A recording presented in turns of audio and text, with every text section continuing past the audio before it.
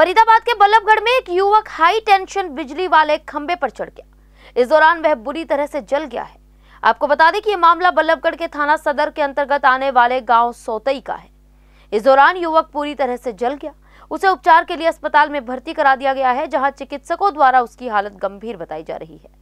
वहीं अभी युवक के हाई टेंशन बिजली वाले खंबे पर चढ़ने के कारणों का पता नहीं लग पाया है। फ़िलहाल पुलिस मामले की जाँच करने में जुटी हुई है।